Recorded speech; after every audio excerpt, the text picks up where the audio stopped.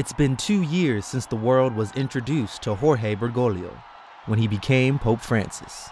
Since then, he's done everything from washing the feet of prison inmates to giving American gay and lesbian Catholics tickets to visit him at the Vatican. And he's even taken a few selfies in his spare time.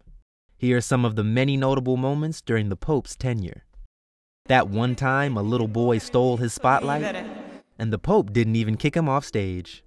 Those many times he lost battles to the wind, and it happens pretty often actually. When he advocated for free speech after the Charlie Hebdo terrorist attack, but also said people shouldn't, quote, make a toy out of the religion of others. Or the time when he told a story demonstrating how spanking is okay, as long as it preserves a child's dignity. When he addressed millions during Mass in Rio de Janeiro to end World Youth Day celebrations.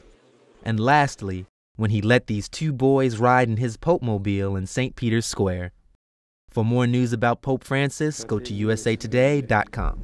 In questo giorno santissimo, innalziamo a Dio la nostra preghiera unanime